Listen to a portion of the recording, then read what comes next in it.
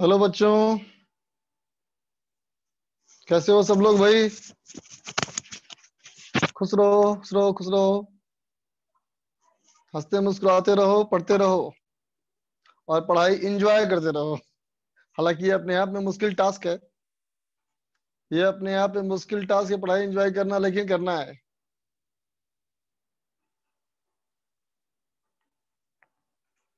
है ना बच्चा?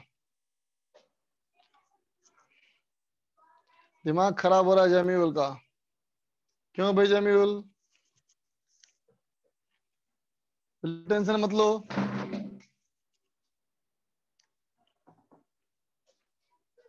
बहुत परेशान हो। क्यों भाई?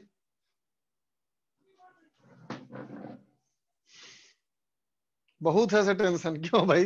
इतनी छोटी सी उम्र में इतना टेंशन कैसे हो गया तेरे को रे?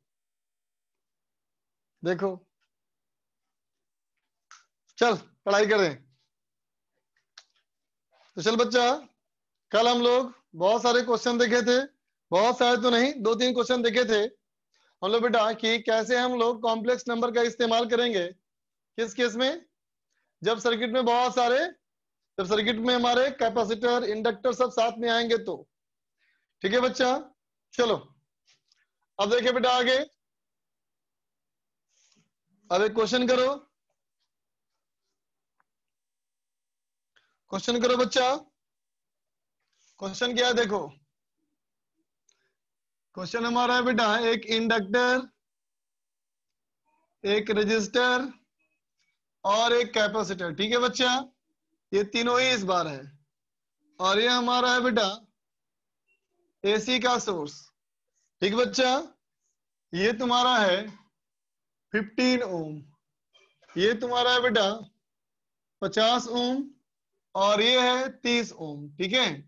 ये रेजिस्टेंस आर हो गया, ये एक्सएल हो गया, और ये एक्सी हो गया। ठीक है बच्चा?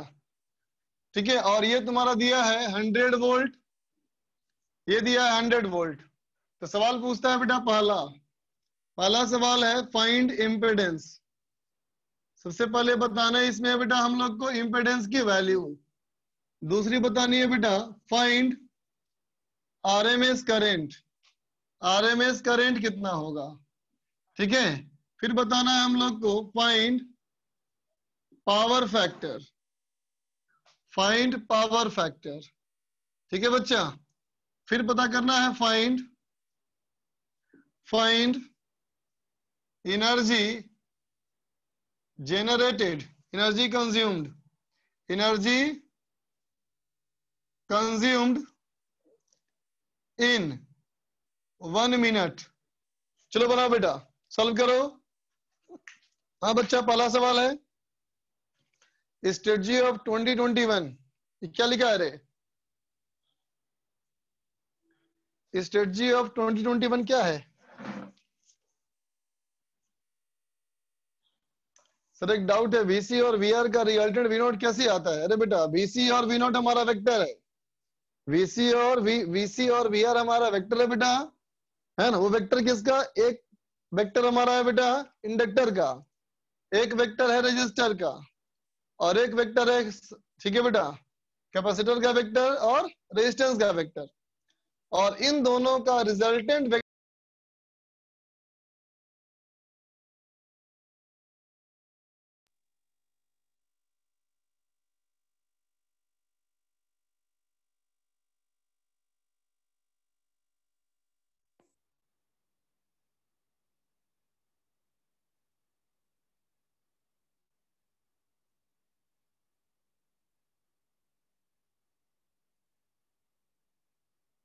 बेटा सही आंसर आगे बढ़ो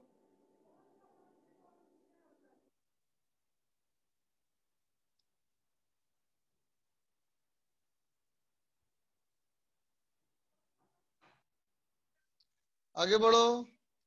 तीन महीने है, डर लग रहा है। क्यों भाई? क्यों डर लगेगा? बताऊँगा मैं तरीका इसका। ये तीन महीने कैसे मैनेज करने हैं, बताऊँगा बताऊँगा मैं। चिंता मत करो।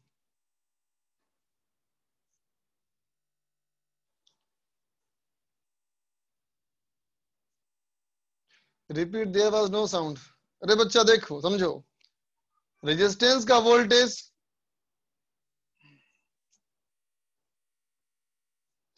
रेजिस्टेंस का बेटा हमारा रेजिस्टेंस का जो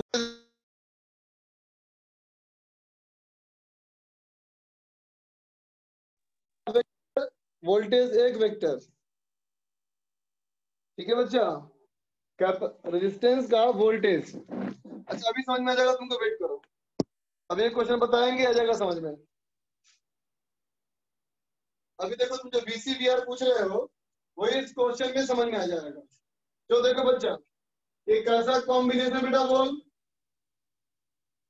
है ना सीरीज़ कॉम्बिनेशन सीरीज़ कॉम्बिनेशन आवाज़ नहीं आ रही।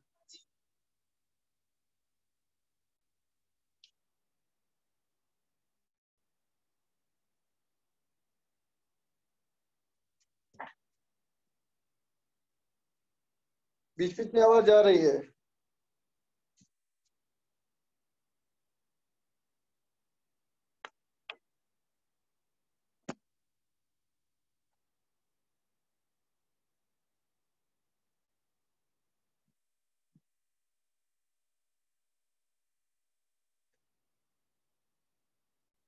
अभी ठीक है आवाज़? अभी ठीक है बेटा आवाज़? देखो। देखो बेटा। तो मैंने कहा, देखो बेटा, ये सब सीरीज़ में है ना बेटा? सीरीज़ में क्या होगा वो?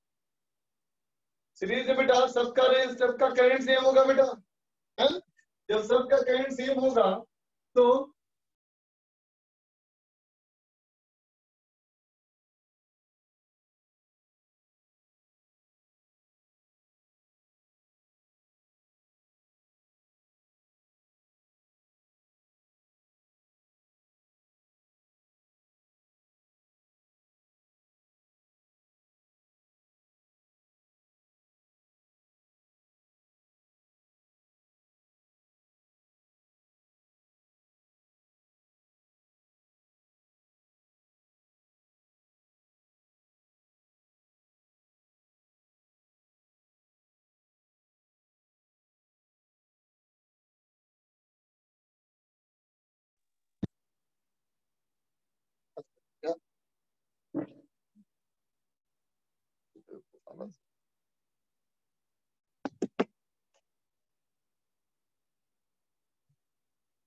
चल देख करंट हमारा सब में सेम बेटा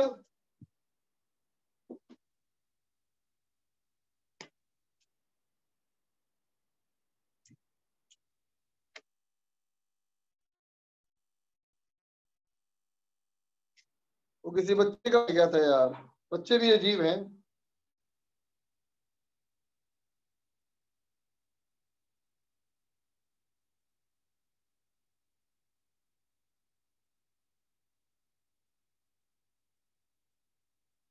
अभी ठीक है? देखो बच्चा। तो देखो, ये हमारा करंट सब में सेम हो गया बेटा। है? अब देखो। इंडक्टर का जो वोल्टेज है बेटा, ध्यान रखना है। फेजर डायग्राम का मतलब क्या? फेजर डायग्राम का मतलब बेटा, सारे करंट को और पीक करंट पीक वोल्टेज इन सबको बेटा हमें वेक्टर जैसा मानना है। ठीक है? तो देख बेटा, अगर इसको वेक्टर जैसा मानोगे, है ना तो करंट हमारा ऐसे वेक्टर बना। अब सोचो, इसका जब वेक्टर बनाएँगे बेटा वोल्टेज का वेक्टर तो कैसे कहोगे? इंडक्टर के वोल्टेज का वेक्टर ऐसे बनेगा बेटा वी एल बोलो। है ना? ठीक है पाई बाई टू पे रीड करता है ना? रेजिस्टेंस का वोल्टेज का वेक्टर ऐसा बनेगा बेटा। बोलो। ठीक है? और इसका वोल्टेज का वेक्टर यू बनेगा बेटा। बोलो। ठीक है? अब सोचो इसमें और इसमें ये बड़ा है ना बेटा? जब ये बड़ा है तो क्या कहेंगे? जब ये बड़ा है तो क्या होगा बोलो? इन दोनों का रिजल्टेंट ऊपर आएगा बेटा। कितना आएगा? V L minus B VC बोलो बेटा। ये होगा हमारा वी एल माइनस वीसी ठीक है? तो अब देखो, इसका और इसका रिजल्टेंट इसका और इसका रिजल्टेंट ये ना हो जाएगा बेटा, बोलो वी नॉट। बोलो। होगा? ठीक है? तो अब देखो बेटा, इस जो वी नॉट की बात करेंगे हम लोग, ये विनोट क्या है? तो कहोगे विनोट इसका वोल्टेज है। ये क्या है? तो वो इसका वोल्टेज है। ये क्या है? तो कहेंगे, इन दोनों का रिजल्टेंट वोल्टेज है ना बेटा? और इन सारे वेक्टर का जो रिजल्टेंट है, वो इसका वेक्टर है। अब समझ में आया? क्यों हम बोलते हैं वीसी वीएल को जोड़ करके हम बोलते हैं वी नॉट ठीक है बच्चा? अब देखो बेटा, इस वाले में V naught square is equal to क्या होगा? वीएल माइनस वीसी का square plus V R square बोल बच्चा। होगा? ये हो गया बेटा हमारा Z square equal to XL minus XC का स्क्वायर प्लस आर स्क्वायर इसका मतलब बेटा Z equal to twenty five ohm बोल बच्चा। First part complete first part complete अब देखो बेटा सेकेंड पार्ट में। सेकेंड पार्ट कहता है फाइंड आरएमएस करंट तो क्या होगा बेटा? I R M S is equal to V R M S by Z कितना हो गया बेटा वी आर एम एस हो गया हंड्रेड बाई ट्वेंटी फाइव तो आ गया बेटा ये चार एम्पियर। है ना? सी में आता सी हमारा क्या है? Find power factor power factor क्या होता है? बोलो ले और फाइव को क्या बताया था? आर बाई जेड है ना बच्चा? तो आर हमारा है पंद्रह, जेड है पच्चीस। इसका मतलब थ्री बाई फाइव इसका मतलब साई हमारा हो गया थर्टी सेवन डिग्री है ना बेटा? अब करता है find energy consumed in one minute एक मिनट में कितना एनर्जी कंज्यूम कितना होगा बोलो? H equal to I R M S square R into T है ना बच्चा? तो आई आर एम एस कितना बच्चा? चार। तो चार का स्क्वायर करो, ये हो गया बेटा सोलह। आर कितना बेटा? पंद्रह। और ये सात।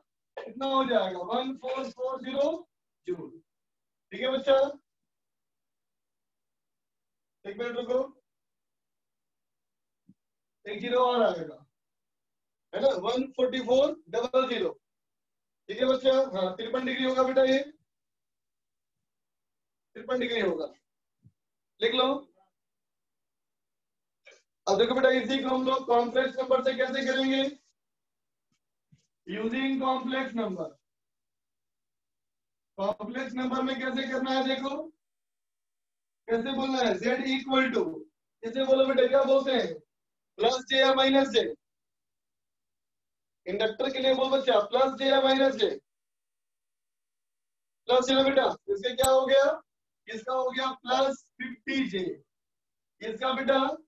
तो फिफ्टीन इसका बेटा? तो माइनस थर्टी जे है ना बेटा? इंडक्टर के लिए प्लस जे कैपेसिटर के लिए माइनस जे है ना बच्चा? तो कितना हो गया? Fifteen plus twenty J fifteen plus twenty J ठीक है बच्चा? अब जेड तुम्हारा निकल गया। तो फ़ेज़ निकल गया। है ना? जेड का मैग्नीट्यूड कितना बोलो fifteen square plus twenty square ये आ गया बेटा ट्वेंटी फाइव कॉस फाइव निकल जाएगा बेटा, कितना? कितना बेटा? आर बाई जेड आर कितना? फिफ्टीन और ये ट्वेंटी ये थ्री ट्वेंटी फाइव ये हो गया बेटा थ्री बाई फाइव ठीक है? बाकी सारी चीज़ें निकल जाएगी बेटा। है ना? ये करने के लिए हमें फेस डायग्राम बनाने की ज़रूरत नहीं है। नोट कर ले इसको।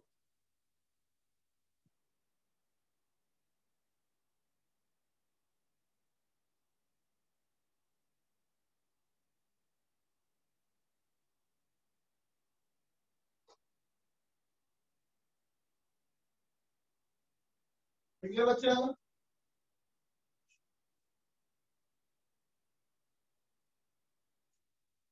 पेजर ज़्यादा आसान लग रहा है।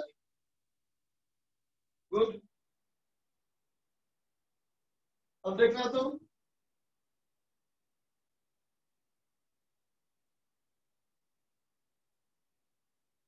देख बेटा सवाल।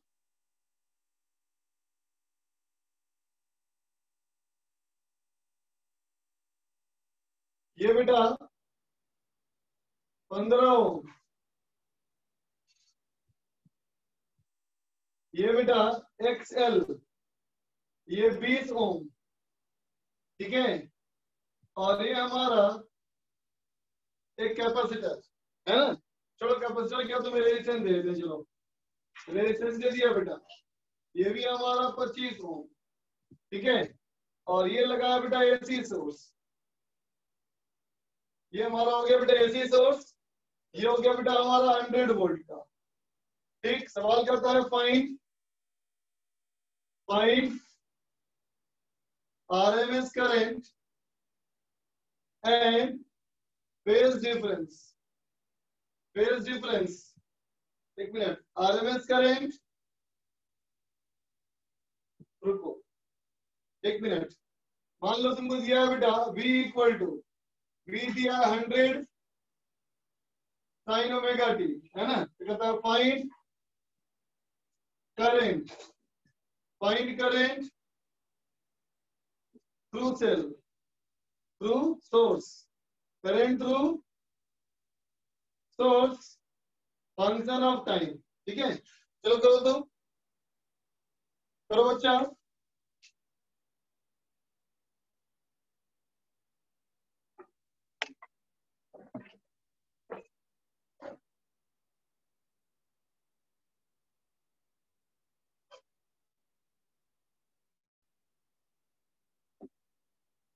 हीट के लिए केवल रेजिस्टेंस का ही लगेगा। सही बात ना बच्चा?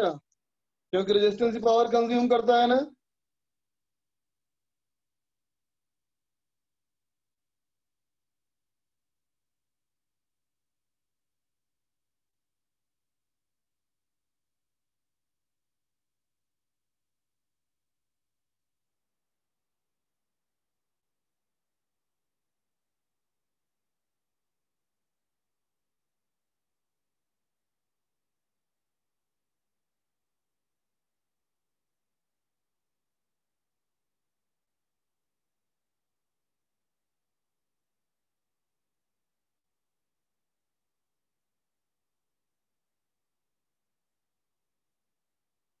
नहीं बेटा एसी सर्किट में ग्रोथ एंड डीके का मतलब नहीं है।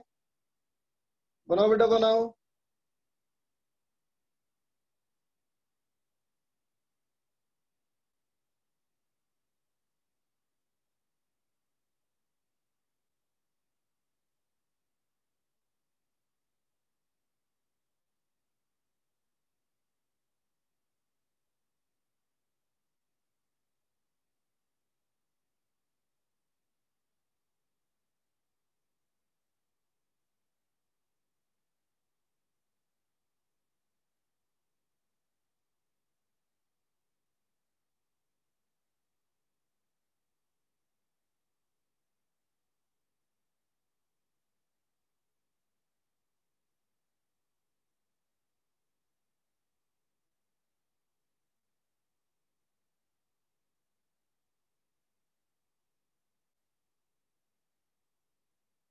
एनर्जी कंज्यूम इन एसी बराबर एनर्जी कंज्यूम डीसी क्या लिख रहा है रे? मतलब ही समझ में नहीं आया मेरे को।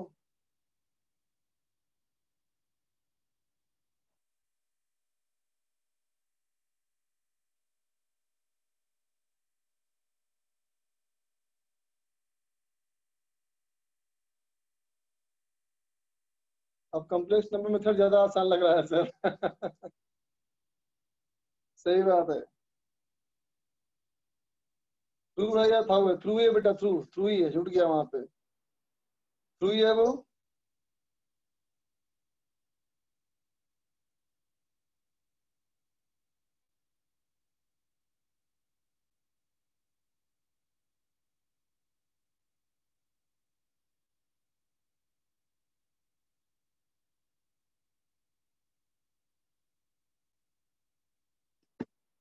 Ankit sine omega T. Ankit का आंसर आया। रेफरेंस किसको लेना है, तुम सोचो। अब मैं थोड़ी बताऊँगा। फ़ेज़ डायग्राम पता कैसे चलता है कि कौन सा वेक्टर कितने एंगल पे लेना होगा? फ़ेज़ डिफरेंस याद करो। पीछे का कॉन्सेप्ट याद करो। इंडक्टर का वोल्टेज कैपेसिटर का वोल्टेज कौन लेट करता है, कौन लीड करता है, याद करना पड़ेगा। जैसे एक बच्चा मैं करता हूँ, देखो।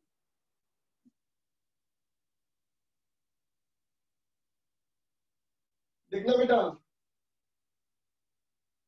बोलो। ये तो रियल है बेटा, बोल। ये तो रियल है ना?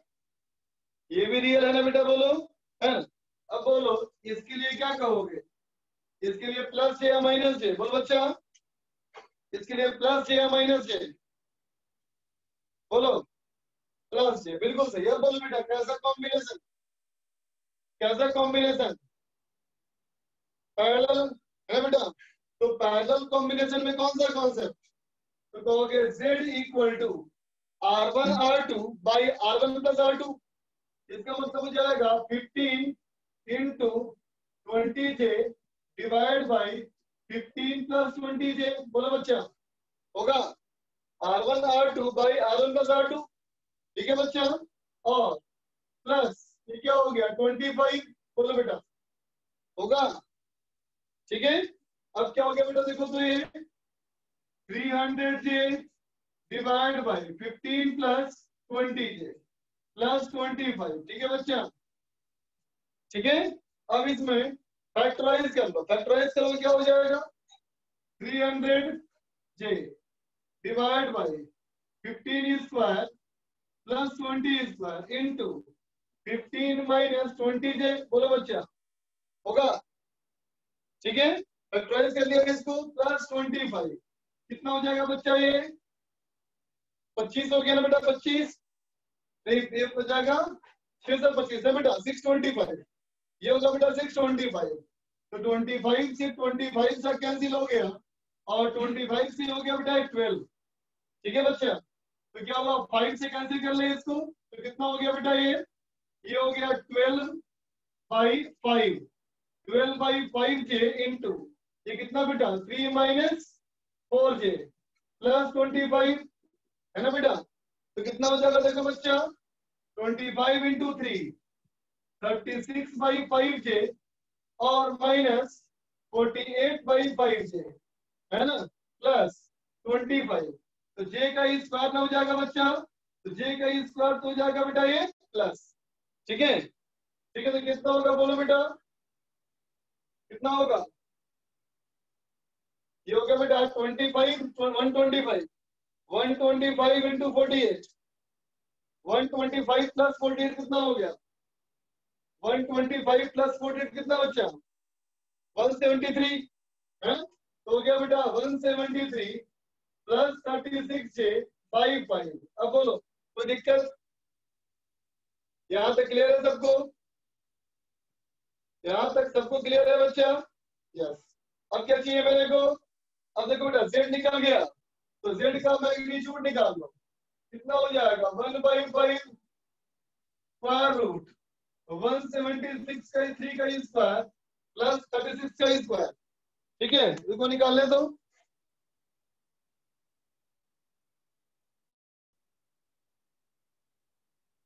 कैलकुलेटर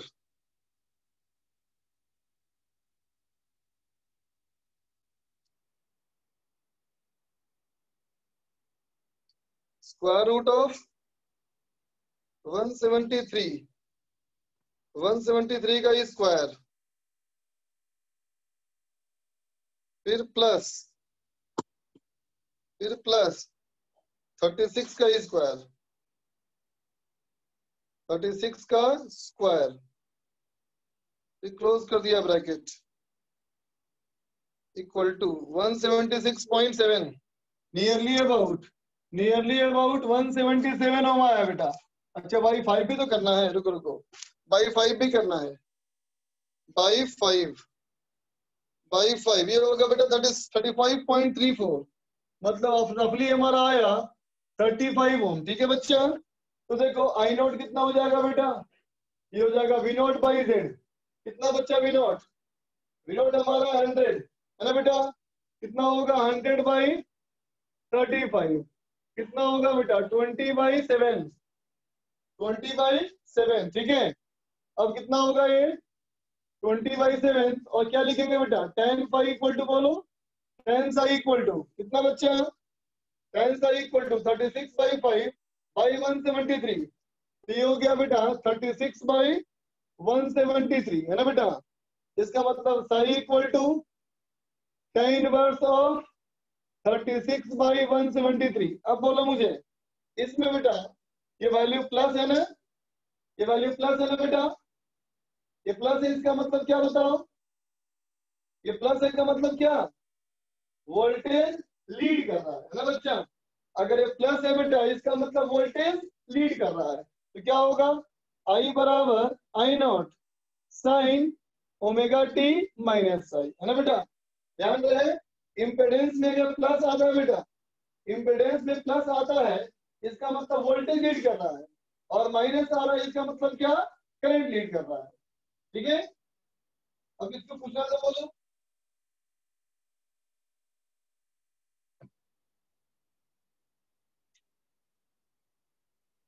निकले बच्चा।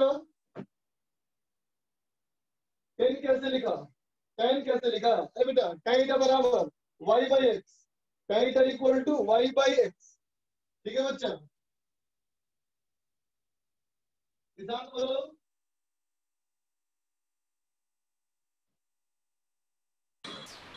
सर अगर अपन इसको फेजर से करें वो कैसे होगा? बोलो बोलो फिर से बोलो सर इसको अपन फेजर मेथड से करें तो कैसे होगा? बताएँगे रुको अभी पहले इसको कर लो। ये समझ में आया? जो बताया सो अभी। हमने ट्राई नहीं किया इसको ऐसे करने का। क्या? हमने ट्राई नहीं किया इसको ऐसे करने का। ट्राई नहीं किया इस मेथड से? तो गलत किया तो ट्राई करना चाहिए ना। बार बार बोल रहा हूँ इस बात को दोनों मेथड सीखो। सर। फेजर डायग्राम से बेटा आसान क्वेश्चन बन जाएँगे जल्दी। फेजर डायग्राम से आसान क्वेश्चन बन जाएँगे जल्दी। लेकिन डिफ़िकल्ट वाला जो है बेटा वो नहीं बनेगा। डिफ़िकल्ट में टाइम लग जाएगा ज़्यादा।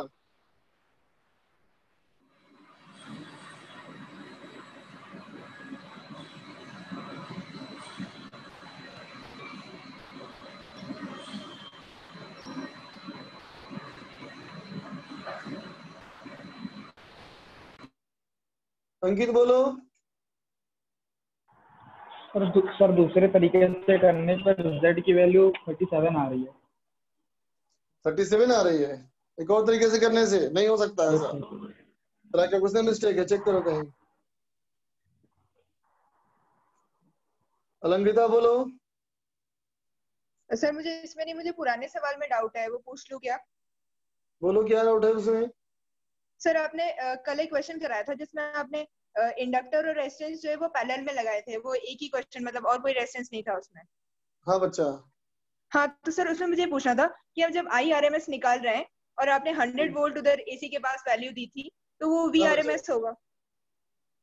हाँ अगर हाँ, तो सिर्फ़ सर- लिखा है तो आरएमएस होगा सही बात। कुछ भी लिखा नहीं है तो हाँ। आरएमएस हाँ तो सर मुझे पूछना आई आर एम एस निकालने के लिए हम ऐसे क्यों नहीं करते हैं कि V R M S upon XL कर दें और plus V R M S upon R कर दें? V R M S by XL कर दे V R M S by R कर दे। चलो तुम्हारी बात हाँ हो इन सकती है। लेकिन सुन तो बच्चा एक बात। अगर कि मान लो कोई भी एक सर्किट है बच्चा ठीक है? कोई भी एक सर्किट है है ना? इस सर्किट में मान लो कोई सेल लगा है ठीक है बच्चा? यस सर तो ये डीसी का सोर्स है ये 10 वोल्ट है बेटा ये 20 वोल्ट है तो कितना होना चाहिए बताओ? 30 वोल्ट ना? ठीक है? हाँ सर हाँ। बताओ क्या ऐसे बोल सकती है? ये 30 वोल्ट है तो ये भी 30 वोल्ट होगा और ये भी 30 वोल्ट होगा। नहीं सर। है ना बेटा? समझी? नहीं। बोल सकते। लेकिन तुम्हारा सवाल ये है। तुम्हारा सवाल तो बेटा पैरेलल में है ना? यस सर हाँ। और तुम कहते हो पैरेलल में जो इसका वोल्टेज होगा वही इसका होगा वही इसका होगा। तुम्हारे मन Yes. है इसमें आई वन और इसमें आई टू जोड़ दू? ये तेरा सवाल हाँ. है? यस सर बेटा ये आई वन आई टू जोड़ सकते हैं सिंपल कब? जब दोनों का फ़ेज़ सेम हो। अच्छा। है ना बेटा? डायरेक्ट हम हाँ. नहीं सर याद आया तुमको जब क्वेश्चन हम लोग कहे थे बेटा कि आरएमएस वैल्यूज़ निकालो याद करो। जैसे मान कहा था? Two plus three sine omega T तो two Yes, plus three sine omega T का वैल्यू पीक वैल्यू क्या? फाइव आई थी। आरएमएस वैल्यू क्या? टू थी। नहीं थी ना बेटा? नो सर कई बार फिर तभी ऐड करना है। जब क्या हो? सेम फ़ेज़ हो अच्छा ठीक है सर और सर जब हम डीसी करंट का मतलब वो सर्किट सॉरी एसी का सर्किट बनाते हैं तो वो जो करंट का डायरेक्शन होता है ना वो क्या मानते हैं कि वो हर समय चेंज होता रहता है या सेम ही हाँ, रहता है। हर समय चेंज नहीं करता रहेगा बेटा। नहीं डायरेक्शन सर डायरेक्शन नहीं करेंगे। कहीं भी डायरेक्शन मार्क नहीं करेंगे इसमें। ओ अच्छा ठीक है ठीक है सर ठीक है थैंक यू सर ओके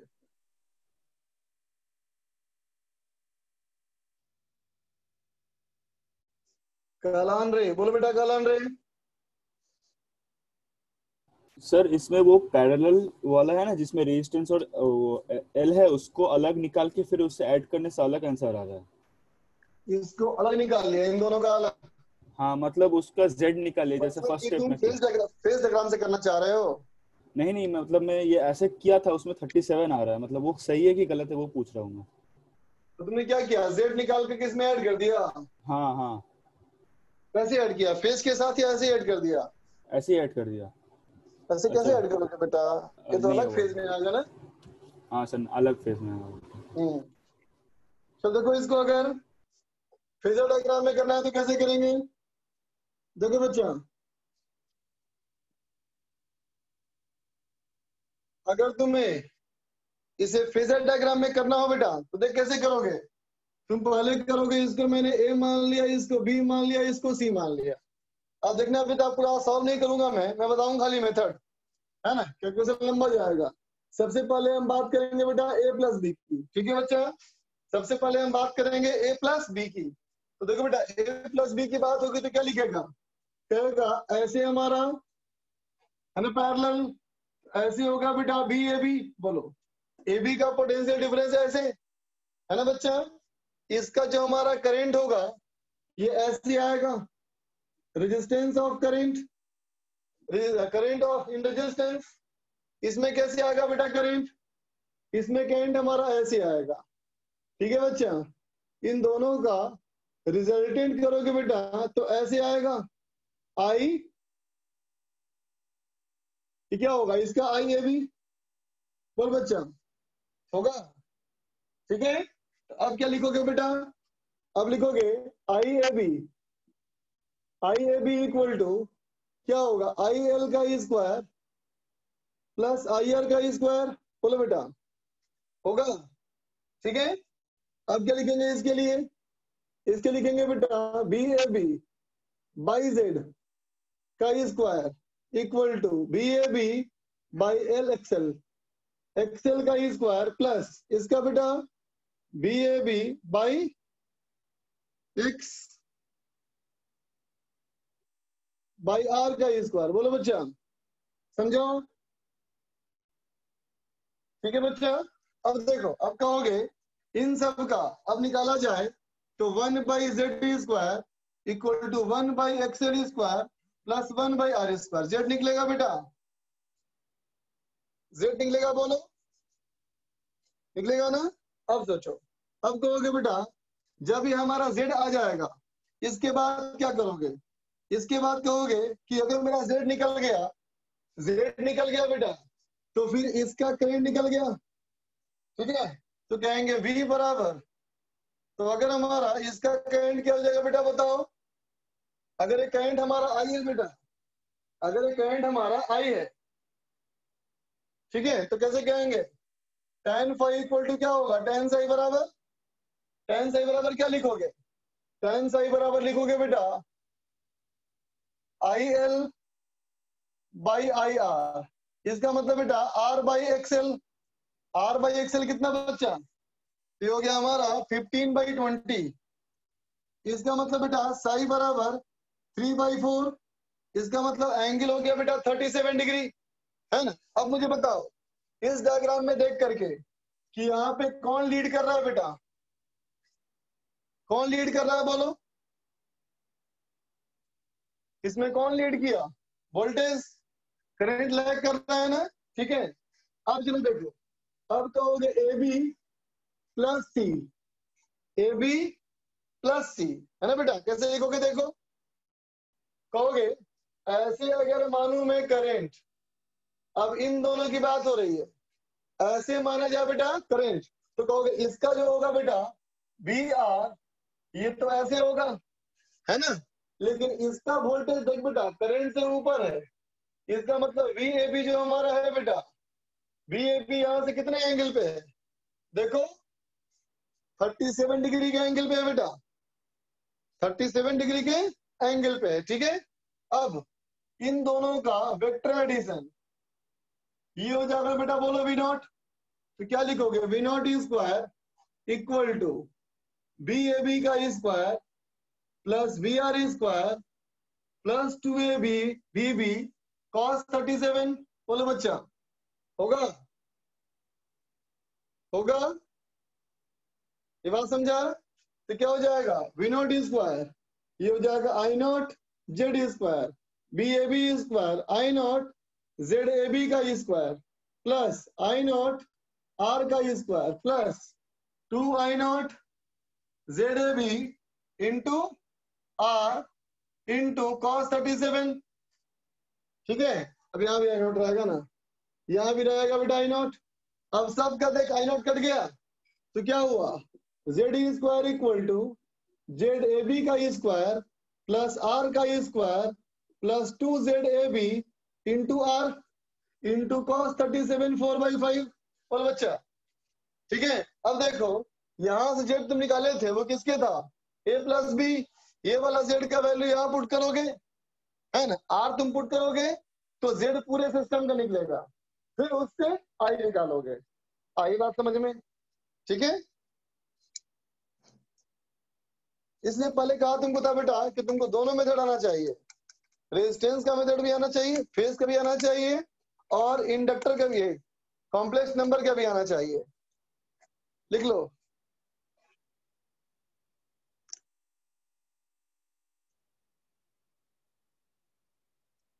बोलो। क्योंकि सर मतलब कि ये जो अगर हम वोल्टेज का वोल्टेज को अगर रेफरेंस माने सर तो करंट का वेक्टर सम करेंगे क्योंकि करंट डिवाइड हो रहा है दो पार्ट में सर। और अगर हम अगर हम करंट को करंट को अगर रेफरेंस माने तो वोल्टेज को हम वोल्टेज का वेक्टर सम करेंगे क्योंकि वोल्टेज डिवाइड हो रहा है सीरीज़ में सर एकदम सही पता ना। सही है सर ये वाला। हाँ बिल्कुल सही समझ सकता है। ओके सर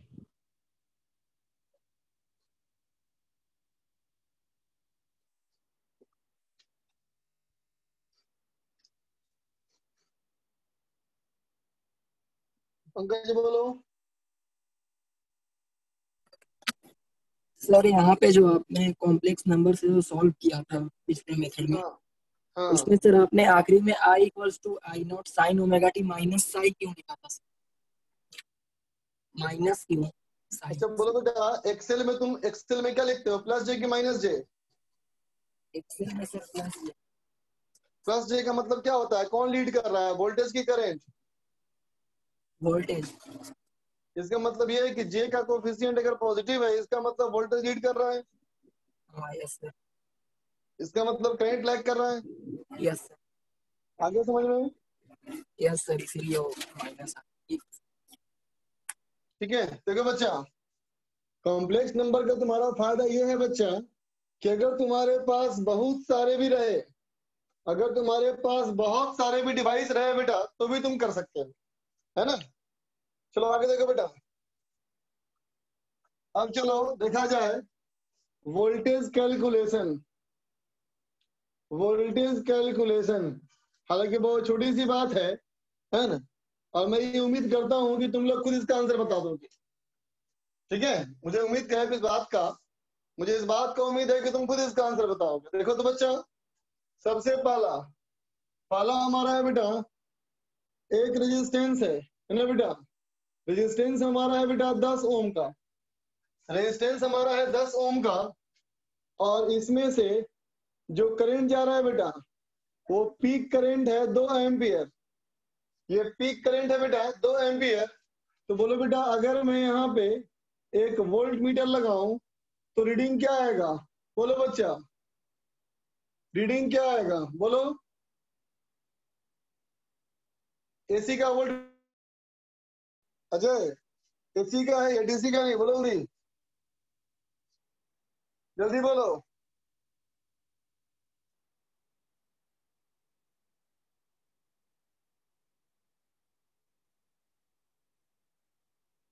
समझे? ये क्या लिखा है?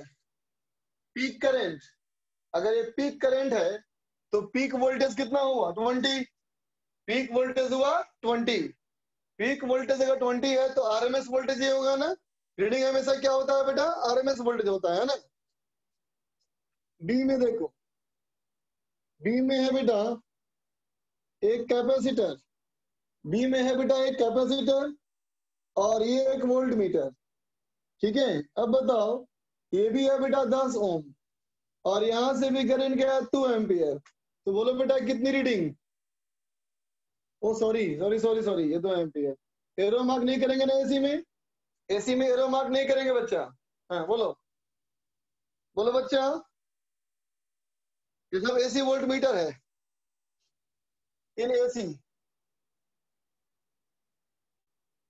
बोलो बच्चा, क्या आगे रीडिंग जल्दी बोलो।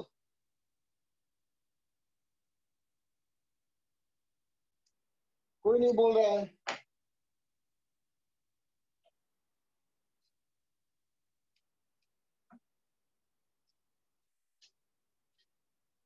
फिर से गलती, फिर से वही गलती जो पिछली बार गलती की है। एक ही गलती क्यों बार बार कर रहे हो बच्चा? दिख रहा है वीडियो बहुत ब्लड आ रहा है। वीडियो बहुत ब्लड है क्या?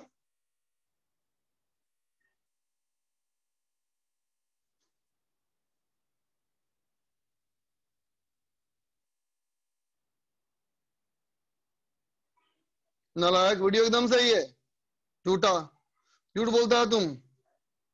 तुम झूठे हो। वीडियो एकदम सही है परफेक्ट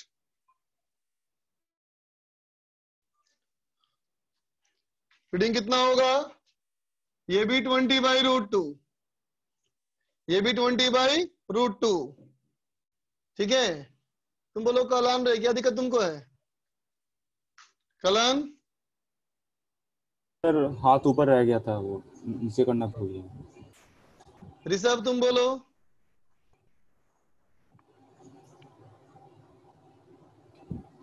ऋषभ क्या दिक्कत? कुछ नहीं हेलो। बोलना। हाँ बोलो। सर वो मैं पूछ रहा था कि दो अलग अलग फ्रीक्वेंसी के करंट क्या ऐड होते हैं क्या? दो अलग अलग फ्रीक्वेंसी ऑफ़ एसी के करंट ऐड तो होंगे बिल्कुल। लेकिन उनका रिजल्टेंट होगा ना बेटा? वो फिर वो ओसिलेटिंग नहीं होगा। सिंपल हार्मोनिक मोशन नहीं होगा फिर वो कुछ और हो जाएगा। समझे? Yes hmm. चलो अब देखो। सी पार्ट में। अब सुनना बहुत ध्यान से। देखो बच्चा, अब मैंने कहा, ये कैपेसिटर बेटा, है ना? और ये इंडक्टर, ठीक है? तो देखो बेटा, मैंने यहाँ एक लगाया वोल्ट मीटर यहाँ मैंने लगाया वोल्ट मीटर है ना बेटा? इसने इसकी रीडिंग दी 40 वोल्ट, ठीक है बच्चा? मैंने एक यहाँ लगाया वोल्ट मीटर इसने इसकी रीडिंग दी बेटा 30 वोल्ट, है ना? तो अब बताओ, अगर मैं ऐसे लगाऊ वोल्ट मीटर V है ना बेटा? तो बोलो, इसका कितना आएगा रीडिंग बोलो बच्चा, इसका कितना आएगा रीडिंग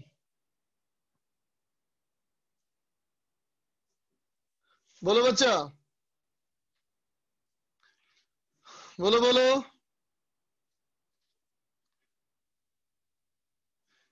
दस वोल्ट, समझा? का फेस उल्टा होता है ना बेटा, बता। दोनों सीरीज़ में है ना? दोनों बेटा सीरीज़ में है ना? तो कैसे बनेगा फेस डायग्राम कहोगे, ऐसे होगा बेटा वी एल और ऐसे होगा बेटा वी सी तो रिजल्टेंट वोल्टेज क्या होगा? दोनों का अपोजिट ना बच्चा हाँ सिद्धिका, तुम्हारा सही था। चलो, अगला सवाल।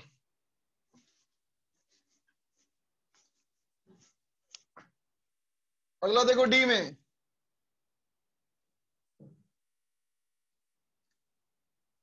रेजिस्टेंस कैपेसिटर ये लगाया वोल्ट मीटर ये बेटा पंद्रह ओम ये लगाया वोल्ट मीटर इसका रीडिंग भी पंद्रह वोल्ट ठीक है बच्चा? ये भी पंद्रह वोल्ट तो बोलो बेटा, इसका कितना आएगा रीडिंग बोलो बोलो। इसका कितना आएगा रीडिंग बोलो बच्चा। अभिमान बिल्कुल सही। अजय गलत, करुणा शंकर सही। ऋषभ सही, सोनू कुमार सही, अदिति सही, दीपक सही, संकेत सही।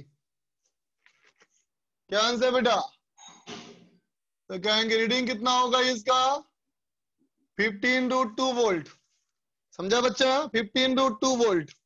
ठीक। अब चलो, पांचवा देखो।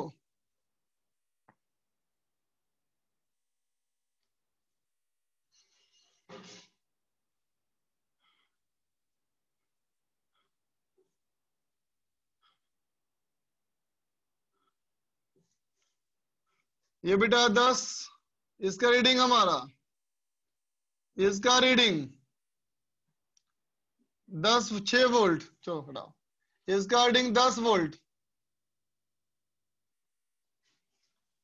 इसका रीडिंग आठ वोल्ट इसका रीडिंग चार वोल्ट तो बोलो, इसका कितना आएगा? बोलो, इसका कितना आएगा रीडिंग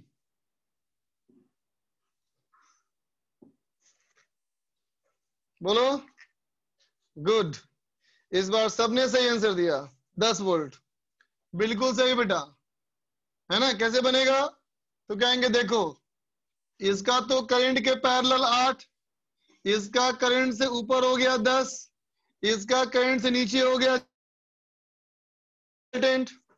ठीक है बच्चा? तो तुम लोग वोल्टेज कैलकुलेशन सीख गया। ठीक है? अब चलो आगे बढ़ते हैं। फटाफट लिख लो तुम इसको। फटाफट नोट कर लो। जल्दी नोट करो।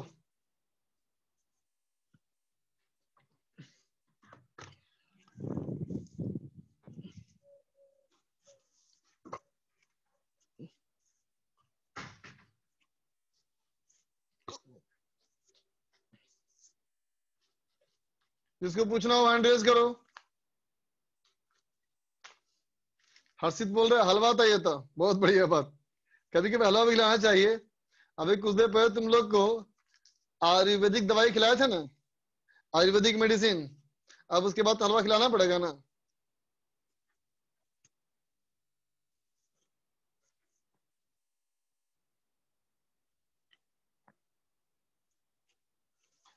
मयंक बोलो। सर सी वाले सर वाले का सर सी वाले का दस वोल्ट आ रहा है। मतलब हाँ, उसका ठीक बीस वोल्ट आएगा। अच्छा सर तीस वोल्ट है क्या सर उसमें इंडक्टर का? हाँ चालीस है और. तीस है बच्चा? सॉरी सर मेरे को लगा बीस इंडक्टर का। ओके समझ गया ना? यस सर चलो अभी रेज कर रहा हूँ।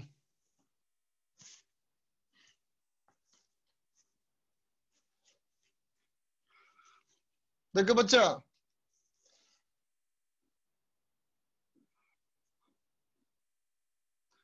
series LCR circuit, series LCR circuit को कहा जाता है बेटा, एक्सेप्टर सर्किट, ठीक है?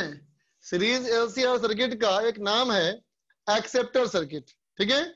इसमें क्या है? जैसा नाम क्लियर तुमको बेटा, ये हमारा रजिस्टर, इंडक्टर और एक कैपेसिटर, है ना बच्चा? इन सबको सोर्स में जोड़ दें, है ना बेटा? तो ये है आर ये है एल और ये है सी इसी को बोला जाएगा क्या बेटा? सीरीज़ एलसीआर सर्किट इसी का नाम हमारा क्या है बेटा? एक्सेप्टर सर्किट अब देखो, एक बच्चा लिख रहा है, सर पैरेलल का एग्जांपल भी करा दीजिए। पैरेलल में क्या होगा बच्चा? वैसे आमीटर नापेगा। जैसे सीरीज़ में मैंने क्वेश्चन ला के तुमको दिया ना वोल्टेज निकालने के लिए, जिस तरह से सीरीज़ में तुम वोल्टेज निकाले हो उसी तरह से करंट भी निकालोगे। चलो उसने कहा है तो एक कराई देते हैं। देखो भाई नहीं तो उसका मन दुख ही जाएगा कि। मेरा बात नहीं माने। चलो चलो, देखो। देखो बच्चा क्वेश्चन एक क्वेश्चन ये है कि ये हमारा इंडक्टर ये हमारा रजिस्टर है ना बेटा? इसमें लगाया आमीटर तो इसमें कैन, इसमें लगाया आमीटर इसने कैन दिया? तीन एम्पियर तो बोलो बेटा, ये आमीटर क्या देगा? बोलो बोलो। इस आमीटर ने दिया दो एम्पियर इस आमीटर ने दिया बेटा तीन एम्पियर तो ये आमीटर कितना देगा?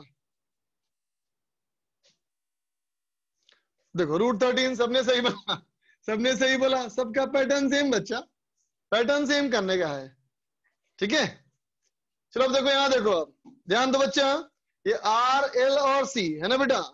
तो कैसे बनेगा फ़ेज़ डायग्राम ये सीरीज़ में करंट इधर हो गया बेटा वोल्टेज ऑफ़ रेजिस्टेंस ये हो गया वोल्टेज ऑफ़ इंडक्टर ये हो गया वोल्टेज ऑफ़ कैपेसिटर है ना बच्चा?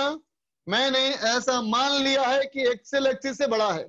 ये मैंने माना है कि एक्सेल एक्सिस से बड़ा है है ना बेटा? तो हालाँकि बताने के लिए कुछ तो है नहीं। तुम इसमें क्वेश्चन कर चुके, है ना? मेन हमें मुझे बताना है इसका कॉन्सेप्ट है ना बेटा? ये हमारा ठीक है बच्चा? तो ये सारा कहानी तुम जान चुके हो। ये सारा कहानी तुम जान चुके हो। है ना बेटा? सारी बातें इसकी हो चुकी हैं। तुमको आता है इसका बेटा निकालने इम्पिडेंस इम्पिडेंस क्या होगा? तो कहोगे square root of R square plus XL minus XC का स्क्वायर बोल बच्चा, होगा?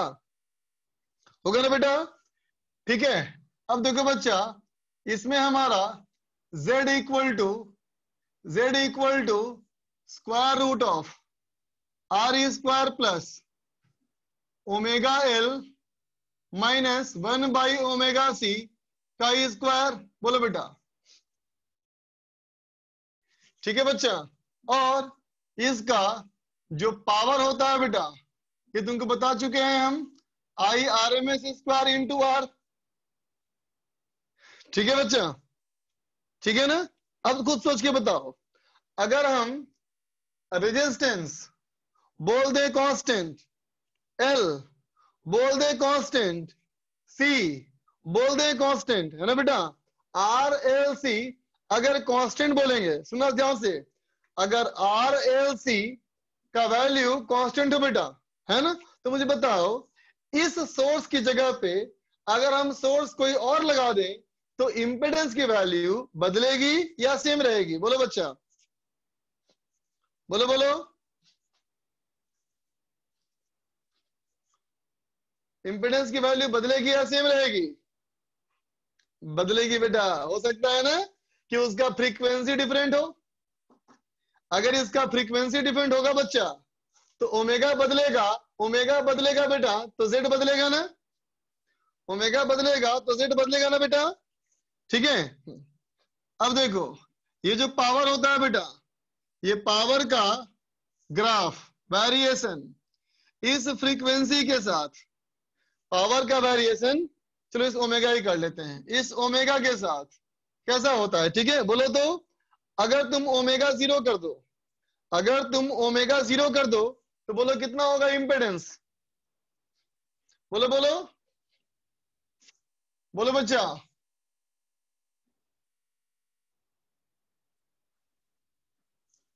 बोलो बोलो। इन्फिनिटी हो जाएगा, बिल्कुल सही बात, है ना बेटा? ये हो जाएगा बेटा इन्फिनिटी है ना? अच्छा अब बताओ तो करंट कितना हो जाएगा? ओमेगा ज़ीरो कर दें तो ये हो जाएगा बेटा इन्फिनिटी ये इन्फिनिटी तो आरएमएस ज़ीरो ये ज़ीरो तो पावर कितना? ज़ीरो इसका मतलब ग्राफ कहाँ से स्टार्ट होगा बेटा? ओरिजिन से। ग्राफ स्टार्ट होगा बेटा ओरिजिन से। अब बताओ, अगर हम ओमेगा बोल दें बेटा इनफाइनाइट अगर बोल दें ओमेगा बेटा इनफाइनाइट तो क्या होगा? ओमेगा हम बोल दें बेटा इनफाइनाइट तो क्या होगा?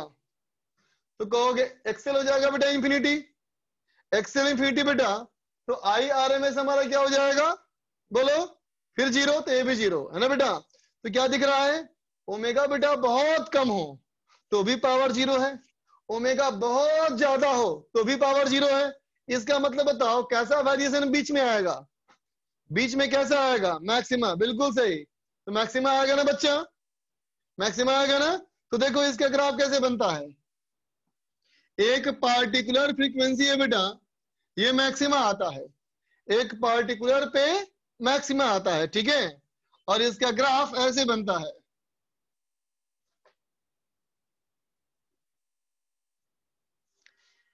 ठीक है बच्चा? होगा कि हमारे कोचिंग का, हमारे कोचिंग रेजोनेंस का ऐसा सिंबल क्या है? बोलो बेटा, हमारे कोचिंग का ऐसा सिंबल क्या है? आया होगा समझ में? है ना? तो एक्चुअली में टेक्निकली वो इसी का ग्राफ है बेटा, ठीक है? तो देखो, ये जो ग्राफ बेटा है, ये बहुत जाकर के ऊपर मिलेगा। है ना? तो इसका मतलब क्या है बेटा ये? तो कहेंगे, ऊपर जहाँ जा रहा है बेटा, वो क्या मिलेगा तुमको? मैक्सिमा मिलेगा। ऊपर जहाँ जाएगा बेटा वो वो हमारा क्या है? मैक्सिमा मिलने वाला है। ठीक है बच्चा? और इस फ्रीक्वेंसी को बोलते हैं क्या बेटा? Omega R. इस ओमेगा आर बोलते हैं। ठीक है बच्चा? ठीक है? तो अब देखो, अगला पॉइंट अब मैं बोल रहा हूँ रेजोनेंस इन एसी सुनना ध्यान से बेटा। इसका कॉन्सेप्ट को सुनना अच्छे से। तो देख बच्चा, ये रेजोनेंस इन एसी का मतलब क्या है? पहले बताओ, इसका देखो और इसका देखो। क्या दिख रहा है बेटा? इन दोनों का क्या दिख रहा है बेटा बताओ। क्या दिख रहा है? दोनों का वोल्टेज अपोजिट फ़ेज़ में, दोनों का वोल्टेज अपोजिट फ़ेज़ में, है ना बेटा? इसका मतलब क्या है समझो? इसका वोल्टेज इसका वोल्टेज अपोजिट है बेटा। इसका मतलब इंस्टेंटेनियस पावर इंस्टेंटेनियस पावर है ना बेटा? क्या होगा? दोनों का उल्टा होगा। एक का पॉजिटिव होगा तो एक का नेगेटिव होगा। बोलो बच्चा। इंस्टेंटेनियस पावर इंस्टेंटेनियस पावर क्या होगा? एक का बढ़ेगा तो एक का घटेगा। एनर्जी आगे बच्चा इसका मतलब यह होगा, सुनो ध्यान से। इसका पावर पॉजिटिव है बेटा। मतलब इसकी एनर्जी बढ़ रही है। और इसका पावर नेगेटिव है। इसका मतलब इसकी एनर्जी घट रही है। है ना बेटा? है ना? जब इसका पावर नेगेटिव होगा तो इसका पॉजिटिव होगा। जब एक की एनर्जी बढ़ेगी तो एक की एनर्जी घटेगी। है ना बेटा? यहाँ पे क्या हो रहा है? इसकी एनर्जी बढ़ रही है तो इसकी एनर्जी घट रही है। और जब इसकी एनर्जी बढ़ रही है तो इसकी एनर्जी घट रही है। बोलो बच्चा। ठीक है? रेजोनेंस कंडीशन हम उसको बोलेंगे जब इन दोनों का रेट का मैग्नीट्यूड सेम होगा। है ना बेटा? मतलब जितना एनर्जी ये रिलीज़ करेगा, उतना ही ये एक्सेप्ट करेगा। ठीक है बच्चा? जितना एनर्जी ये एक्सेप्ट करेगा, उतना ही रिलीज़ करेगा। समझा बच्चा? है ना? तो ये कब होगा बेटा बताओ? ऐसा कब होगा? रेजिडेंसी कब होगा? तो क्या कहोगे? इसका मतलब क्या है? इसका मतलब क्या है? तो कहोगे instantaneous power instantaneous power of capacitor और इंडक्टर का मैग्नीट्यूड बराबर हो जाए। है ना बेटा? ये कब आएगा?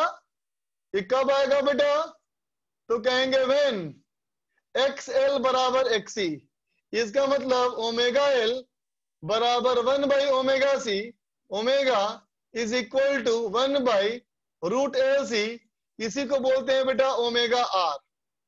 यही हमारा है क्या? Omega are. ओमेगा आर मतलब बेटा रेजोनेंस फ्रीक्वेंसी। ये क्या हो गया बच्चा? Resonance frequency. ठीक है बच्चा? है ना? अब बताओ। एट रेजोनेंस एट रेजोनेंस देखो बच्चा। अगर ये दोनों बराबर हो गया तो ये ज़ीरो हो गया बेटा। और जब ये ज़ीरो हो गया, इसका मतलब क्या हो गया? तो कहेंगे इम्पेडेंस हमारा मैक्सिमम हो गया। सॉरी मिनिमम हो गया। बोल बच्चा। ठीक है? इंपेडेंस हमारा मिनिमम हो गया। इसका मतलब करंट और पावर ये दोनों क्या है बेटा? मैक्सिमम हो गया। ठीक है? है ना बेटा?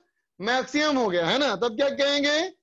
ये सर्किट जो है मैक्सिमम करंट एक्सेप्ट करेगा। है ना? क्या कहोगे? सर्किट एक्सेप्ट लिखोगे circuit accept accept maximum current है ना बेटा? ठीक है? इसलिए इसका नाम है एक्सेप्टर सर्किट समझ में आया बच्चा? कोई पूछे कि इसको एक्सेप्टर सर्किट क्यों बोलते हैं? एक्सेप्टर सर्किट क्यों बोलते हैं? तो क्या बोलोगे? कि ये सर्किट इस कंडीशन में मैक्सिमम पावर एक्सेप्ट करता है जब एक्सएल बराबर एक्सी होगा। है ना बेटा? ठीक है? और जब कहोगे, ये दोनों बराबर हो जाएगा तो ये दोनों कैंसिल हो जाएगा। इसका मतलब बी नोट जो है बेटा, वो बी आर के बराबर हो जाएगा। ठीक है? बात समझे? नोट लिख लो। नोट कर लो बच्चा। देवकरण बोलो। देवकरण।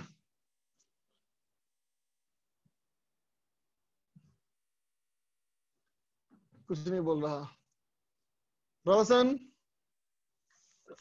सर क्या है कि, कि आपने कहा जैसे कि एक्सएल इक्वल्स टू एक्स हो जाएगा रेजोनेंस कंडीशन में सर। हाँ बेटा।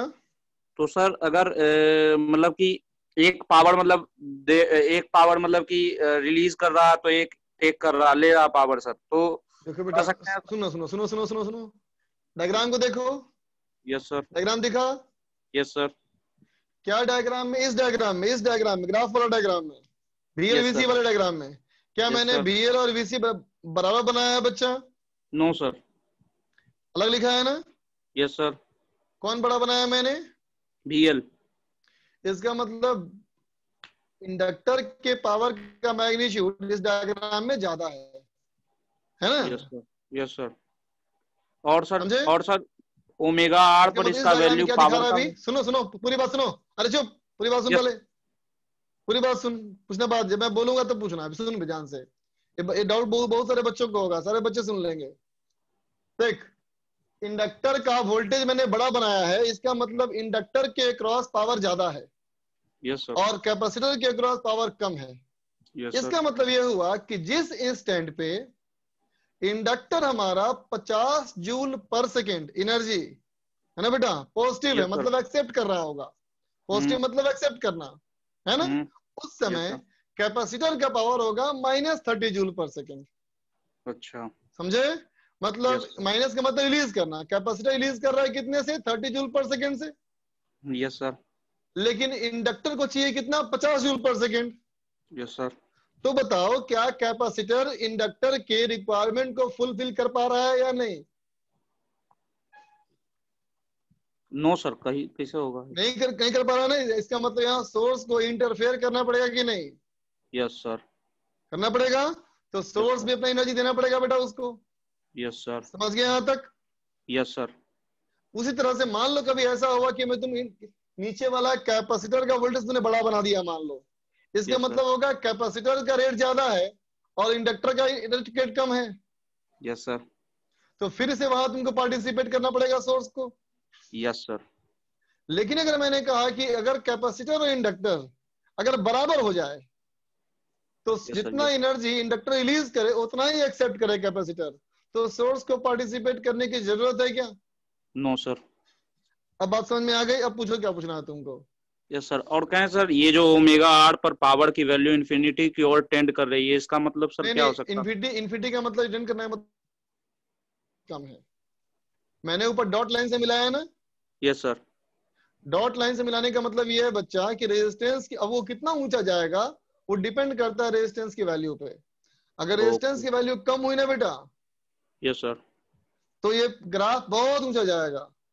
यस सर अगर रेजिस्टेंस की वैल्यू ज़्यादा हुई तो ग्रा- ग्राफ नीचे जाएगा नीचे मैक्सिमम Oh. होगा। समझ में आया?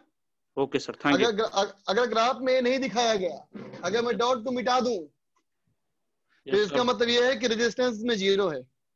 समझ गया? Yes. Sir okay thank you sir okay बच्चा।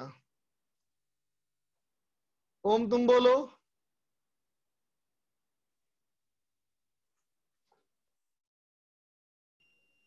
सर वो क्लियर हो गया। वही मेरे को एसिम्प्टोट है क्या पूछ रहा था मैं उसको बता दिए हाँ इम्पोर्टेंट ठीक।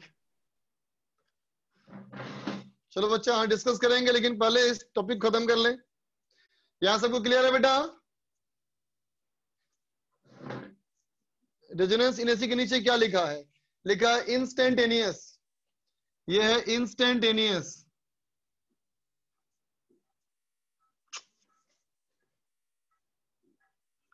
ये है बेटा इंस्टेंटेनियस ठीक है?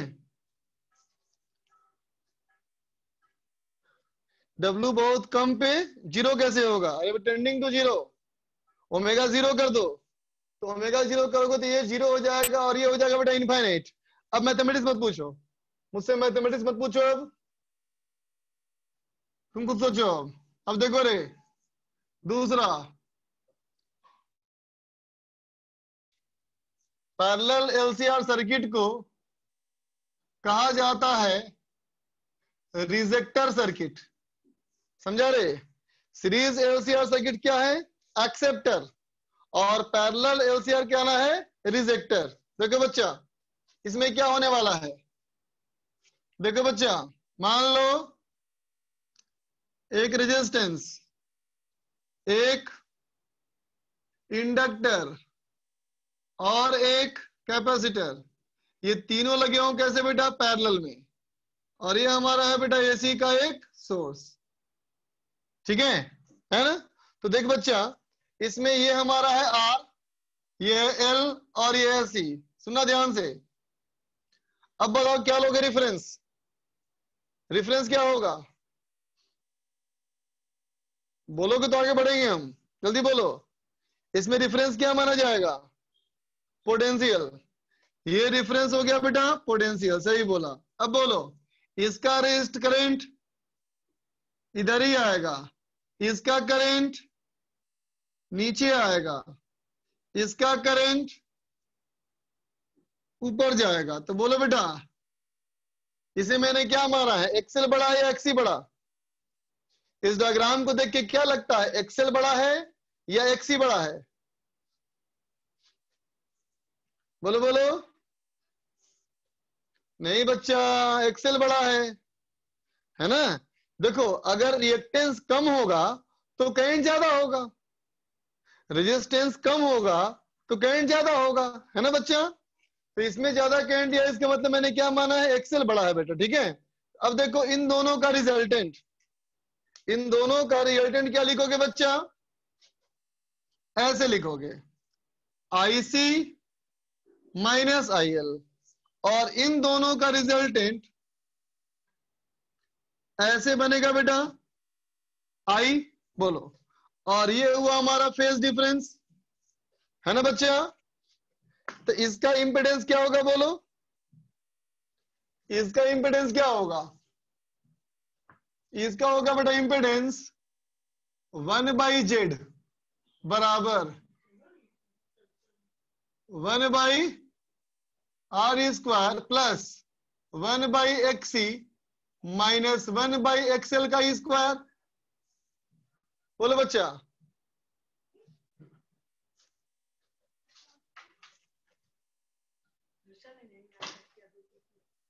होगा बच्चा, बोलो। होगा बेटा। तो ये क्या हो गया बेटा, बताओ। One by Z is equal to one by R square plus ये हमारा omega C minus one by omega L का स्क्वायर बोलो बच्चा, होगा? ठीक है? चलो। अब बोलो इसमें, अब बोलो बेटा इसमें। I R M S equal to I R M S equal to फिर से V R M S by Z और P equal to I R M S पर इंटू आर है ना बच्चा? ठीक है? अच्छा अब देखो। अब कहोगे बेटा एट रेजोनेंस एट रेजोनेंस फिर से कहोगे instantaneous power across inductor equal to power across capacitor है ना बच्चा? फिर से होगा एक्सल बराबर एस फिर से हमारा इतना आएगा। है ना बच्चा? लेकिन अब ओमेगा बराबर ओमेगा आर करेंगे बेटा। अगर तुम इन दोनों को बराबर करोगे बेटा तो वन बाई जेड की वैल्यू मिनिमम होगी। वन बाई जेड की वैल्यू मिनिमम होगी। इसका मतलब बेटा, जेड मैक्सिमम होगा। बोलो। वन बाई जेड की वैल्यू मिनिमम होगी तो जेड मैक्सिमम होगा बच्चा। जेड अगर मैक्सिमम होगा बेटा इसका मतलब आई आर एम एस और पावर दोनों मिनिमम होगा। बोले बेटा। ठीक है? इसका मतलब यह हुआ कि करंट जो है सर्किट जो है है ना? ठीक है? सर्किट ने क्या किया? सर्किट ने ज़्यादातर करंट सर्किट ने कम से कम करंट एक्सेप्ट किया। भाषा को सुनो, भाषा को सुनो। सर्किट ने कम से कम करंट एक्सेप्ट किया। कम से कम एक्सेप्ट किया, इसका मतलब ज़्यादा से ज़्यादा रिजेक्ट कर दिया। बोलो बेटा तो क्या कहेंगे? सर्किट रिजेक्ट मैक्सिमम करंट है ना बेटा? इसलिए इसका नाम क्या है? इसलिए इसका नाम क्या है बच्चा? रिजेक्टर सर्किट आगे बात समझ में? ठीक है बच्चा? लिख लिया फटाफट। यहाँ हीट में निकाला। हीट में निकाला, क्या कहते हो? ना करंट, ग्राफ। ग्राफ नहीं इसमें आएगा बेटा। ग्राफ की ज़रूरत नहीं है यहाँ। इसमें ग्राफ नहीं आता है बच्चा। आई आर एम एस दोनों में सेम है। नहीं बच्चा? I R M S same नहीं आएगा। हीट निकाला ना, लेफ़्ट करंट। कहा लिखा? कहा लिखा हीट में? नहीं तो लिखा ही नहीं बेटा कहीं मैंने। पावर लिखा है मिनिमम। रिएक्टर वाला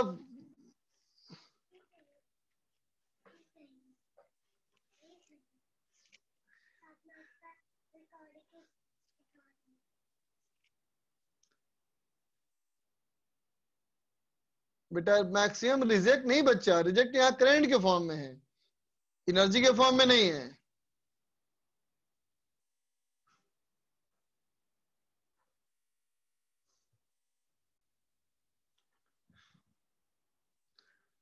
जल्दी लिखो, फटाफट लिखो।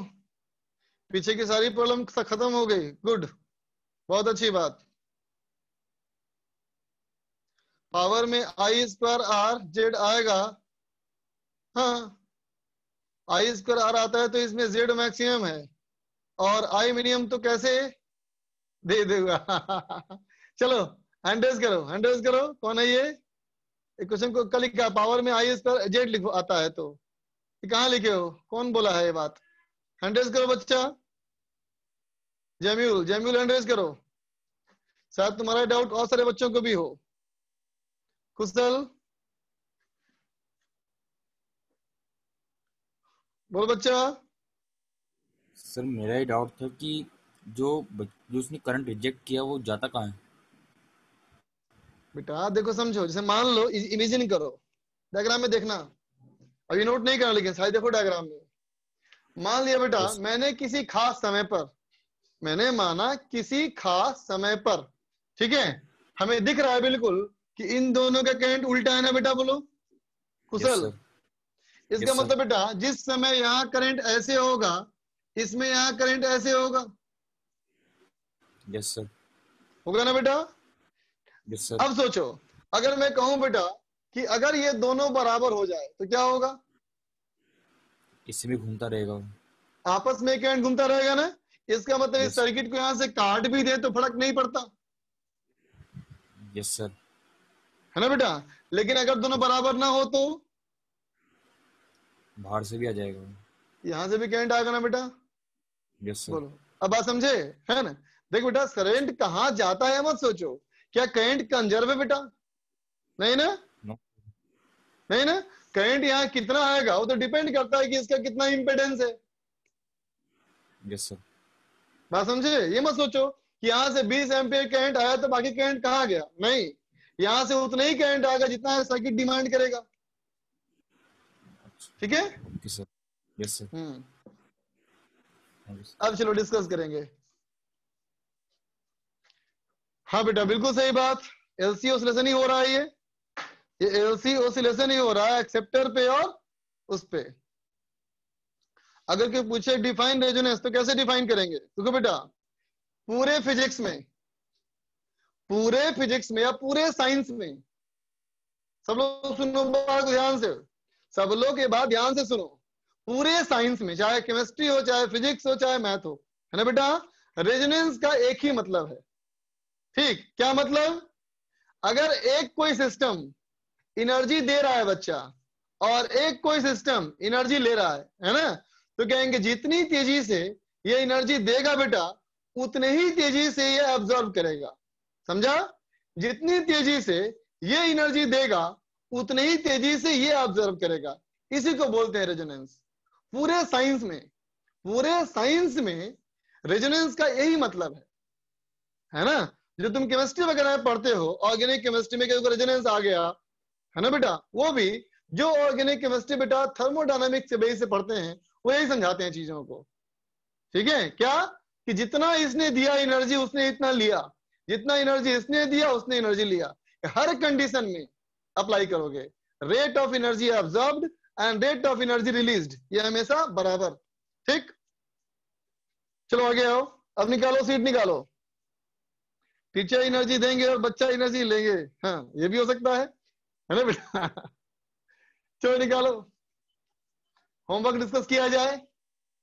होमवर्क डिस्कस किया जाए। डीपीपी नंबर नहीं। क्या दिया था? पी स्टार में। एक्सरसाइज थ्री पार्ट टू दिया था। और थ्री पार्ट वन के दस क्वेश्चन दिए थे। और एसी के सेक्शन ए और बी दिए थे। चलो पढ़े निकाला जाए। Exercise three part exercise three part one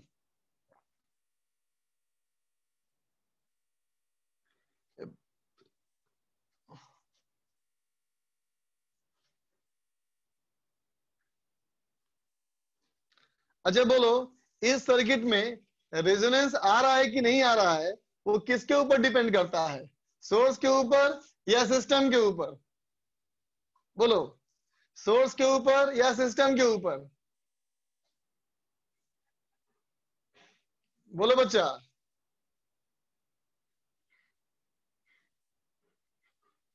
दोनों के ऊपर, है ना? ये एल और सी की वैल्यू इतनी हो कि ओमेगा बराबर one by root L C हो या ये ओमेगा इतनी हो कि चाहे एल जैसा भी हो, उसके लिए one by root L C हो मतलब अगर ये इसको डिस्टर्ब करना चाहे, है ना? तो कर सकता डिस्टर्ब अगर ये इसको डिस्टर्ब करना चाहे तो कर सकता डिस्टर्ब है ना? ठीक. मतलब ये दोनों पे डिपेंड करता है बेटा. इस बात का कुछ मतलब भी था. चलो निकालो? एक्सरसाइज थ्री पार्ट टू पहले कर लें। ठीक है, चलो एक्सरसाइज थ्री पार्ट टू पहले कर लेते हैं। एक्सरसाइज थ्री पार्ट टू पहले कर लेते हैं, बच्चा। ई एम आई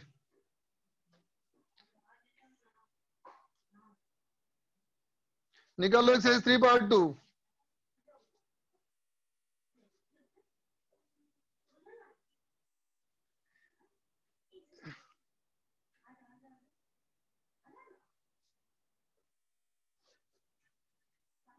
अरे कहाँ गया? हमको रहा।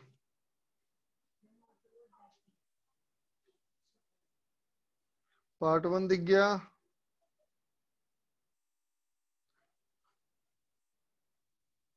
अरे पार्ट टू तो मिल मिल ही रहा मुझे। जय मेन जय मेन जय मेन जय मेन ग्यारह, दस, नौ, आठ, सात, छह, पाँच, चार, तीन, दो, एक। ठीक है, मिल गया। बोलो।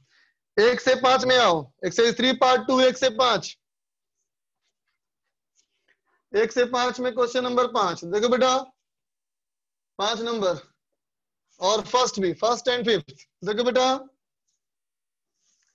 एक्सरसाइज थ्री पार्ट वन में part two exercise three part two में आए। क्वेश्चन नंबर वन देखो।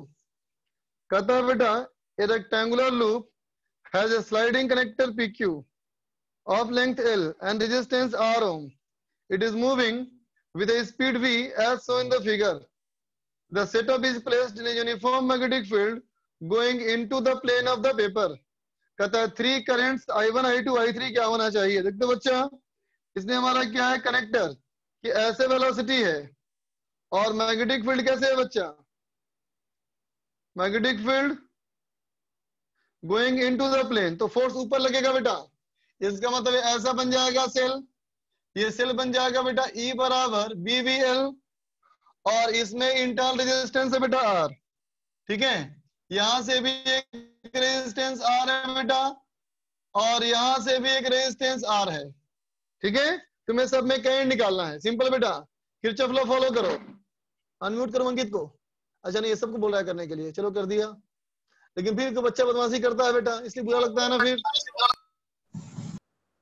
चलो देखो आगे चलो नंबर फाइव नंबर फाइव देखो बेटा फाइव कहता है coil is suspended in a uniform magnetic field with the plane of coil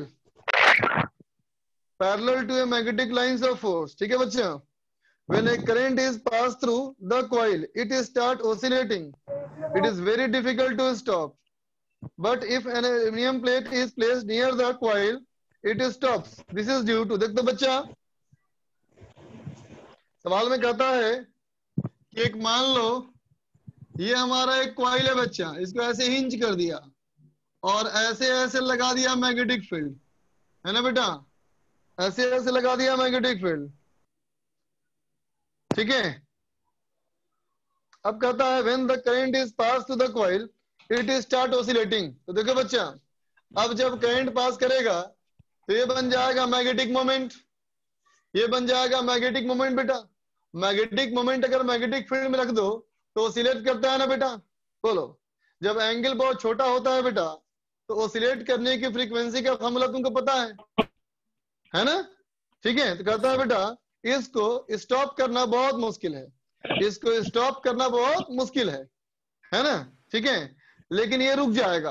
कब रुकेगा? पहला option. Development of air current when the plate is placed induction of कहता है बेटा देखो जब इसके पास जब ये ऑसिलेट कर रहा होता है बेटा है ना ठीक है? और इसके सामने अगर कोई हम एल्यूमिनियम का प्लेट ऐसे रखते हैं ना बेटा तो भी ये स्टॉप हो जाता है। सुन रहे हो सब लोग? यस सर अगर इसके सामने सर आपका वीडियो सर वीडियो नहीं आ रहा। वीडियो रुका हुआ है सर नो सर सही है यस सर सर वीडियो रुका हुआ है। आ रहा है। सर ब्लैक स्क्रीन आ रही है। सही आ रहा है। सर सही आ रहा है सर। सही है सर सर क्लियर है। पूरा। सर वीडियो चला गया। रुका हुआ। है। रुका हुआ मुझे भी दिख रहा रुका हुआ है। सर मेरे में नहीं ब्लैक है सर रुका हुआ नहीं। सही आ रहा है अब रुक गया सर। सही आ भी एक मैं भी एक मोबाइल में देख रहा हूँ ना। सर मगर हमारे चल रहा है सेकंड सही क्वेश्चन है, सही रुका हुआ है। रुका हुआ है गया सर। रुका हुआ है। सही आ रहा है सर रुका हुआ है सर। सर मोबाइल पे तो रुका हुआ हाँ। है हाँ हाँ हो हो। ये सर मोबाइल पे रुका हुआ है। आप गायब हो गए। यस सर मोबाइल पे रुका हुआ है। सर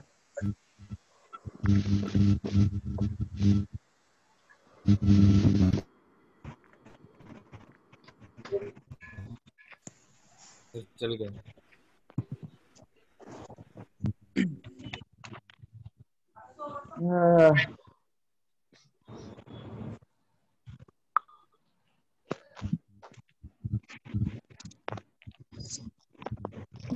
अभी चल रहा है? No sir. नहीं रुका हुआ है। नो सर ब्लैक रुका हुआ है सर रुका हुआ है। सर पीसी में तो चल रहा है। मोबाइल में नहीं चल रहा। सर मोबाइल नहीं सर मोबाइल में रुका हुआ है। पीसी में चल रहा है सर मेरा भी वाले चल रहा है, चल रहा है। रुका हुआ है। आ रहा है। एक, साइड पे सर आपकी शर्ट दिख रही है। बस जो फ़र्स्ट क्वेश्चन लिखे हैं वही दिख रहा है। पीसी में चल रहा है। सर रुका हुआ है। नहीं आ रहा सर। हाँ हाँ देख रहे हैं देख रहे हैं। नहीं आया सर। सर होमवर्क दे दीजिए। अब कल करिएगा? टाइम भी खत्म हो गया। सर होमवर्क दे दीजिए अब।